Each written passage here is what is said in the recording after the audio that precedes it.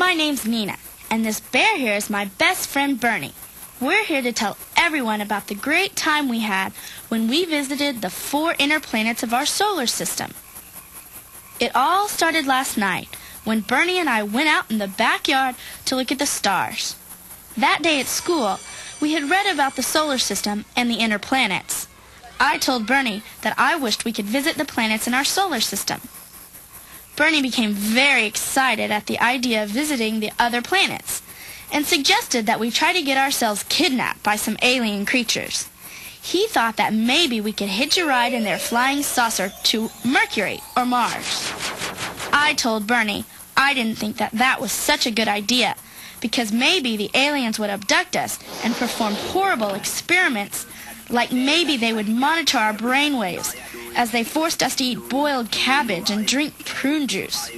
Or maybe they would just skip the boiled cabbage and want to eat our brains. Besides, my daddy told me never to accept rides from extraterrestrials. Bernie agreed that hitching a ride wasn't such a good idea. He said he wished we had our own spaceship. Wait, I said. That gives me a great idea. In the last issue of Beulah, Queen of the Universe, Beulah modified a Winnebago with a flat tire into a Zork model, plasma drive, twin propulsion battle cruiser and used it to completely obliterate the evil Zarblugian Empire. I said, you know, Bernie, if Beulah can change a Winnebago into a battle cruiser, I'll bet we can modify Daddy's old Volkswagen microbus into a spaceship that could at least let us cruise around our solar system. Bernie thought that that was a great plan. So we carried some tools and other essential hardware out to the VW and began our modifications. Daddy's van is pretty old. It took some work, but we had it all ready for interplanetary travel in no time. Then I got Daddy's computer from the den and hardwired it into the van ship's navigational systems. I installed some special solar system software into the external drive, and Bernie hit the power switch. Then things really got going.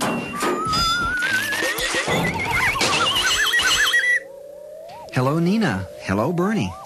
Are you ready to learn about our solar system? Hi, computer. Yes, Bernie and I want to learn about the inner planets of our solar system. We want to visit Mercury, Venus, and Mars and we wanted to learn more about our planet too. All right, Nina. I'm plotting trajectories for those planets now. You and Bernie should buckle up. I'm initiating the blast-off sequence to orbit the Earth. Hold on, Bernie. I hear these takeoffs can be kind of rough. I hope we don't disturb any neighbors. Well, except for Mr. Merkel across the street. He's kind of a crank.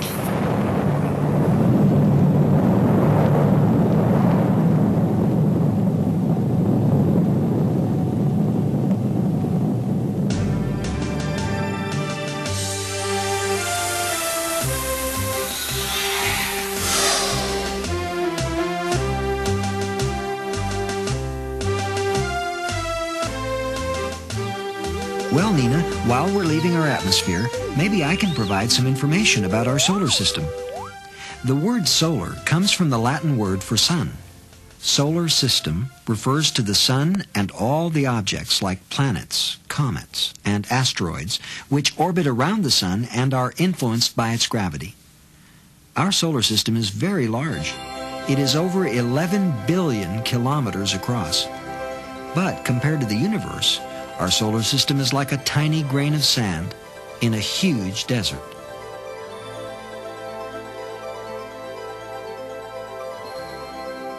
Well, that is small. Where did our solar system come from? Our solar system was formed long ago, almost 5 billion years ago. It happened in our galaxy, which we call the Milky Way. At the time, there was no Earth, Sun, or even a planet. There was only a vast cloud of dust and gas. Over time, the gas and dust were pushed, pulled, twisted, and shaped by gravity and by electrical and magnetic forces. The cloud of matter gradually flattened into a great disk, the shape of a huge frisbee. Most of the dust and gas were pulled inward to a central core. Away from this core, currents formed in the cloud. Particles began to come together into solid bodies.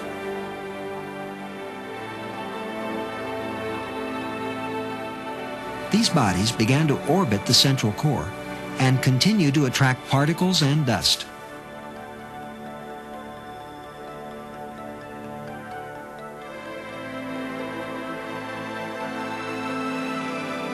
The core became hotter and hotter until a nuclear reaction occurred. The core ignited and began to shine. A new star was born. The young star produced intense radiation, repelling the gas and dust in the surrounding clouds. The orbiting solid bodies became molten spheres, which slowly began to cool. About four and a half billion years later, intelligent life appeared on the third sphere from the star. These life forms called themselves Homo sapiens and named the star the Sun. They named the four inner spheres Mercury, Venus, Earth, and Mars. These are the inner planets. Beyond the inner planets, four giant planets and one small planet orbit the Sun. We can do a little comparing to get an idea of the relative sizes of the Sun and the inner planets. Let's pretend this basketball is the Sun. Then, the Earth and Venus would each be the size of a pea. Mars would be the size of a popcorn kernel.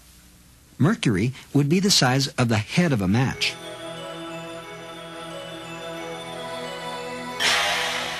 Look, Nina, we're far enough up. Now we can see what our planet Earth looks like from space. Heading Earth. Distance from the Sun, 149,600,000 kilometers. Revolution around Sun, 365.2 days. Diameter, 12,756 kilometers. Surface temperature, variable, averages about 15 degrees Celsius.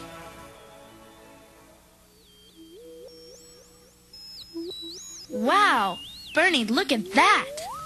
Earth is the largest of the inner planets. It is unique in several ways. Look at the beautiful blue color. There's nothing else like it in the solar system.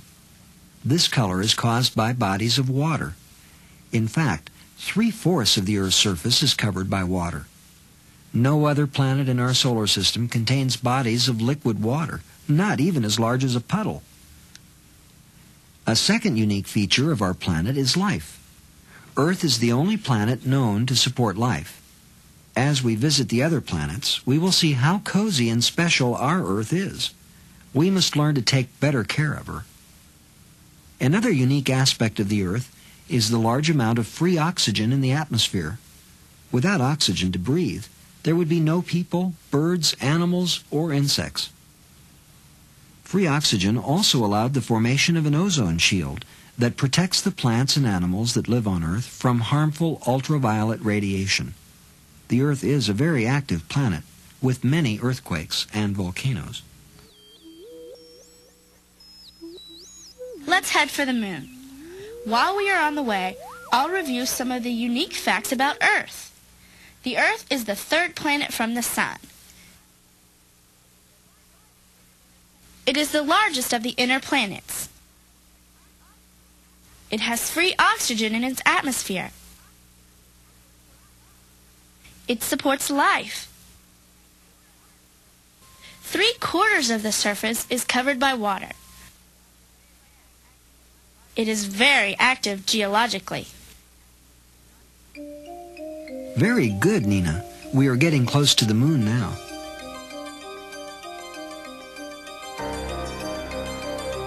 Heading, Earth's moon. Distance from Earth, 384,401 kilometers. Revolution around Earth, 27.32 Earth days. Diameter, 3,476 kilometers. Surface temperature, variable, minus 173 degrees to 110 degrees Celsius.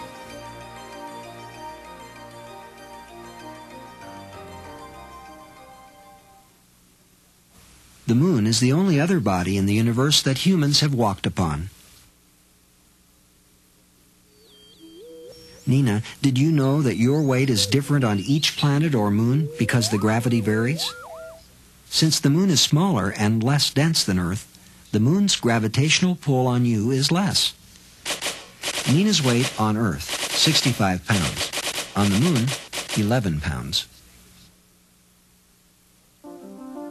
Let's take a closer look.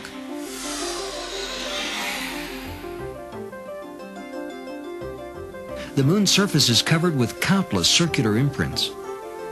These circles look somewhat like a bowl, with an outer raised rim and an inner circular depression. These features are called craters. When rocks called meteors bombard the moon and planets, the collisions create craters. The formation of large craters is a very spectacular and violent event. Here is a simulation of how a crater is formed.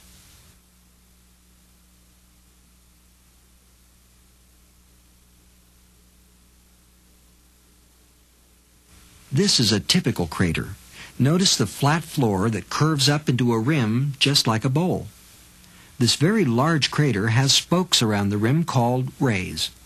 Rays are formed by the rocks and dust scattered by the energy of the meteor smashing into the moon. The moon always keeps the same side toward Earth. We can see patterns of light and dark on the moon. The light-colored areas are rough and mountainous. The dark areas are relatively smooth. Early astronomers thought these dark areas were seas. They are actually very large craters created by huge meteors and filled in by dark-colored lava. The early astronomers were partly right. They are seas, seas of frozen lava. Computer, can we see what the moon looks like from down on the surface? Yes, we can. We'll land on the surface and you can look around. As you can see, the surface is made up of dusty soil. The dust does not blow around because the moon has no atmosphere. The moon's surface is littered by rocks of varying sizes. The moon's soil, called regolith, is the result of the moon being pulverized by space debris over eons of time. The large impacts have sprayed rocks, boulders, and dust all over the moon. Bernie, isn't the moon beautiful? I would like to stay longer, but I'm too excited about seeing the other planets. Where do we go next? Our next course will take us closer to the sun for a look at the planet Mercury. Oh, good. And while we're on our way, I can review what I've learned about Earth's moon. The moon is covered by craters. The moon's soil is called regolith. The moon has no atmosphere. We can only see one side of the moon from Earth.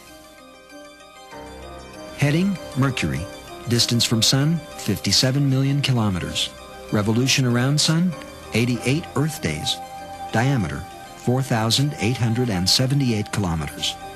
Surface temperature 370 degrees Celsius on the day side, minus 184 degrees Celsius on the night side.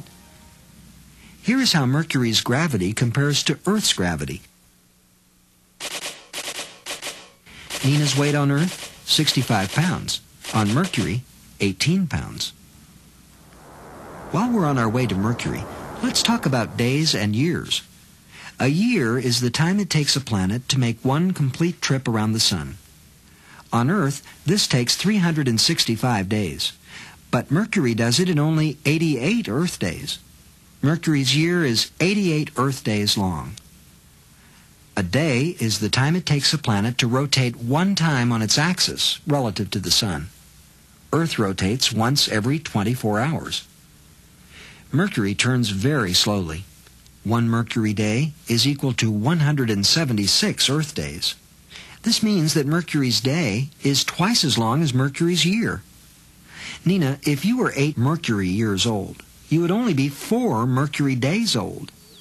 Just think, on Mercury, you would have two birthday parties every day. That seems too good to be true, but remember, a Mercury day is equal to 176 Earth days. We are close enough to Mercury to see it on the view screen. There it is moving in front of the Sun. Mercury is the closest planet to the Sun. Because we are so much closer, the Sun appears to be much larger. Mercury is the second smallest planet in our solar system. The smallest is Pluto. Mercury's surface temperature ranges from a sizzling 370 degrees Celsius to a bone-chilling minus 184 degrees Celsius. This is the greatest temperature range of any planet. Now we can see the surface of Mercury. There are craters everywhere. Like the moon, Mercury was heavily bombarded by meteors early in its history. One of the meteors that struck Mercury was much larger than the others, perhaps 150 kilometers wide. There's the result. That crater is called Caloris. It covers an area over twice the size of France.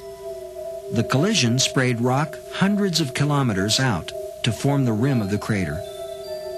The floor of the Caloris crater was cracked by the force of the collision. Later, Mercury's crust began to wrinkle and contract, and the cracks developed into sheer cliffs which are three kilometers high. There are areas on Mercury with fewer craters. These are known as the smooth plains. They were most likely formed by sheets of lava, which filled in the low-lying areas. The smooth plains are similar to the dark areas of the moon, Everything that has happened to the surface of Mercury for billions of years is left for us to see. Mercury has almost no atmosphere to blow dust around. Mercury appears to have no active volcanoes. It has been a dead planet for billions of years. I hope Bernie and I don't ever have to live down there. Are the other inner planets like Mercury? No, Nina. They are all very different. Our next destination is Venus. It is as different from Mercury as night from day. Good. You drive, and I'll review what I have learned about Mercury. Mercury is the nearest planet to the Sun. Mercury has almost no atmosphere. Mercury is the second smallest planet in our solar system. Mercury has very long days and very short years. Heading Venus. Distance from Sun 108,200,000 kilometers.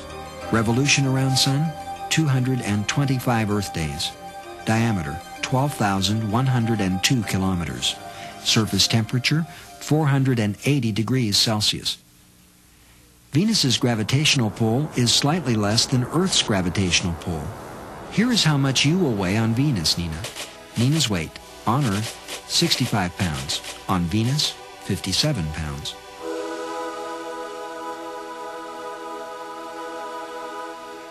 On Earth, we see Venus as a bright, beautiful morning and evening star. It's always wrapped in lovely clouds.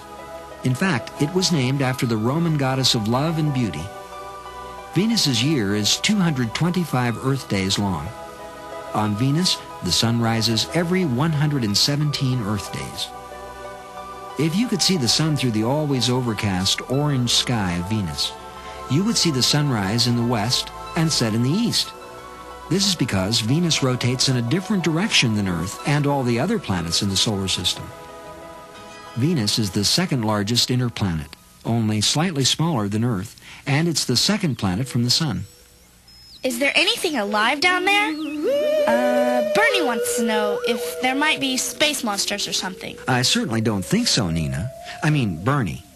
It was hoped that beneath the lovely cloudy veil, we would find a planet teeming with life.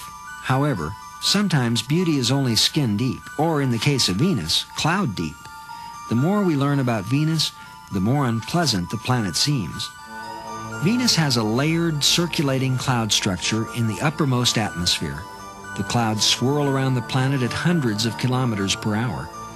These beautiful clouds are composed mostly of corrosive sulfuric acid with small amounts of water vapor. Venus gets worse at the surface. Underneath the clouds, Venus's atmosphere is about 98% carbon dioxide. The atmosphere is very dense.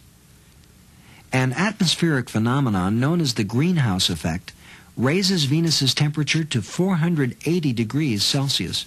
That's 900 degrees Fahrenheit. Sunlight penetrates Venus's thick clouds and is converted to heat. The carbon dioxide and water vapor in the clouds do not allow the heat to escape back into space. This creates a planetary heat trap that makes the surface so very hot.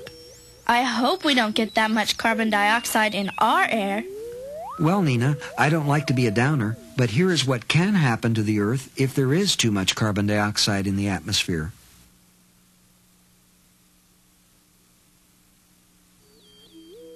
We only have a few pictures of the surface of Venus because of the terrible heat and clouds of acid. If it's so terrible, how did anyone get a picture? A Soviet spacecraft landed on Venus and lasted just long enough to radio back several pictures like this one. America's Magellan spacecraft mapped the surface with radar, and these images were made by a computer like me. Here are some very large craters. This one is a 100 kilometers across. These giant volcanic domes are 25 kilometers across. This area south of the Venusian equator shows how part of the surface of Venus has been twisted into a huge mountain range. This image is from an area north of the Venusian equator and shows a relatively flat surface cut with ridges in one direction and by unusual markings in the other. These features are not seen on any other planet. Venus is a strange and unusual world. It sure is, Mr. Computer. But Bernie says he's getting hot. Let's go to Mars before he sweats on your circuits. Okay, okay, we're going. I'm laying in a course for Mars. We're going to need our heater on Mars. You had better do your review. Venus is the second planet from the Sun. Venus is slightly smaller than Earth. Venus rotates in the opposite direction from the other inner planets. The greenhouse effect makes Venus very hot. Venus's atmosphere has clouds of sulfuric acid. Heading Mars. Distance from Sun 227,900,000 kilometers. Revolution around Sun 687 Earth days. Diameter 6,786 kilometers. Surface temperature variable. Averages minus 50 degrees Celsius. Let's see how much you will weigh on Mars. There is much less gravity on Mars than on Earth or Venus. Nina's weight on Earth, 65 pounds. On Mars, 25 pounds. Did you know that the Martian day is about the same length as a day on Earth? However, a year on Mars is about twice as long as a year on Earth. Mars has long summers and winters. There it is, Mars, the fourth planet from the Sun.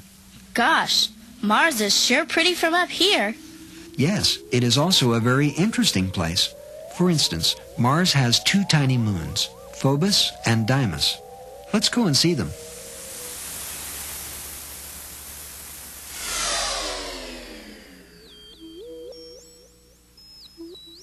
There's Phobos, which is the nearest moon to Mars.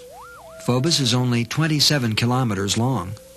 This moon orbits Mars very quickly, twice each Martian day.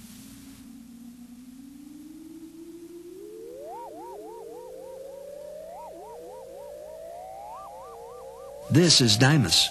It is about 14 kilometers long and very irregular in shape. In fact, it looks like a big potato. The Mars we see from Earth appears to be a reddish star. It has long been called the red planet. There's the surface of Mars. It is red. This red color comes from a thin layer of iron oxide, which is another name for rust. It coats many of the rocks and dust particles on the planet. The red planet could also be called the rusty planet. Mars has violent dust storms. The wind can blow hundreds of miles per hour. Sometimes these storms rage over the entire planet, enveloping it in dust, which reaches over 17 kilometers high. The sand, dust, and Martian winds have formed these sand dunes. In the past, many people on Earth thought that there were great cities on Mars. Now we know that the conditions on Mars are not favorable for life. The Martian atmosphere is very thin and made up mostly of carbon dioxide. Oxygen-breathing organisms could not survive. But primitive organisms which are not dependent on oxygen could exist. The Voyager spacecraft scooped up some Martian dirt right outside our window and tested it. No evidence of life was found. However, the Martian surface does show evidence that there were once large amounts of liquid water. We see canyons eroded by water and old river channels. This means that long ago, Mars was not nearly so cold, and some sort of life may have developed. What happened to all the water? Some of it is in the Martian clouds. Some of it was lost into space, and some may be frozen below the surface. The polar ice caps have some water ice, but they are mostly carbon dioxide ice. The ice caps become larger and smaller with the Martian seasons, and can be seen from Earth with a telescope. It is very cold on Mars. Even on the Martian equator, the average temperature on Mars is minus 50 degrees Celsius. That's 60 degrees below zero Fahrenheit. The Martian surface has many contrasts. The southern hemisphere is made up of densely cratered highlands with some plains which are less heavily cratered. The northern hemisphere is a large plain with relatively few craters. Near the Martian equator is a region with some of the most spectacular landforms in the solar system. Crowning this highland area are several monster volcanoes, larger than any others in the solar system. Can we fly down and see one of them? Yes, we can. We can fly right around one.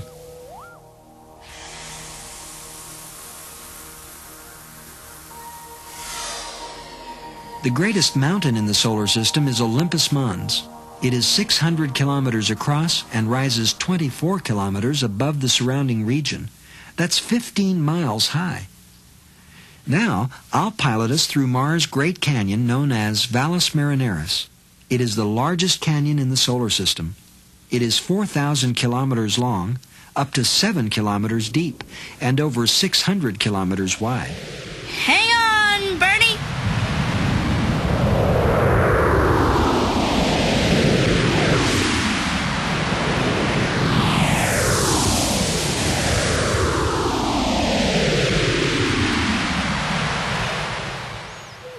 Wow, that was some ride. Mars is the last of the inner planets. I'll set a course for Earth while you review your facts about Mars. Mars is the fourth planet from the Sun. Mars is known as the red planet. Mars may have life, or perhaps had life long ago. Mars has the largest mountains and canyons in the solar system. Mars once had rivers. That's how it all really happened. It was so much fun. I am going to order a new software program. Then I will be able to tell you all about the giant outer planets and Pluto. Goodbye for now. I'll see you for the next adventure.